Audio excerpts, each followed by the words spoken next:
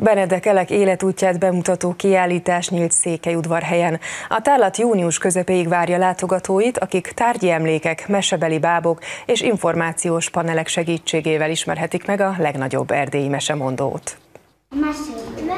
Ezek a gyerekek járhatták be elsőként a legnagyobb erdélyi mesemondó életét bemutató tárlatot. Benedek Elek pedagógusként és íróként egyaránt maradandót alkotott, az általa 1922-ben alapított cimbora pedig mind a mai napig az erdélyi magyar gyerekek kedvenc kiadványa.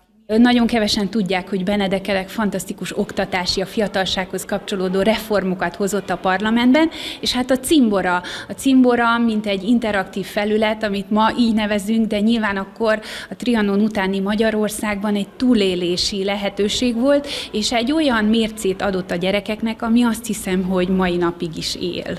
A tárlaton tárgyi emlékek, mesebeli bábok és információs panelek is segítik a megismerést.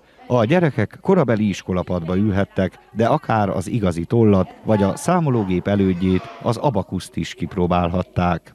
A, a meseolvasás az egy, egy közvetlen kapcsolat rendszerint szülő-gyerek, nagyszülő-gyerek, vagy éppen nevelő-oktató személy és gyerek között, és azon kívül, hogy egy, egy fonal mentén történik a mese folyamata, elindít egy olyan folyamatot a gyerekben, ami a, a fantáziáját segíti, ami neveli, oktatja, néha még fegyelmezi is.